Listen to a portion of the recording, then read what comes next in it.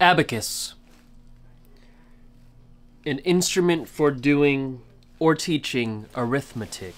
it's basically a bunch of beads on a bunch of little tiny bowls made out of wood. And you move them around and it makes sense mathematically. I almost killed this cat with a dictionary, and uh, we don't want that. Uh, so, an example of abacus is the boy went camping and didn't have spare batteries for his calculator, so he had to bring his spare abacus. And that's abacus. Have a good day.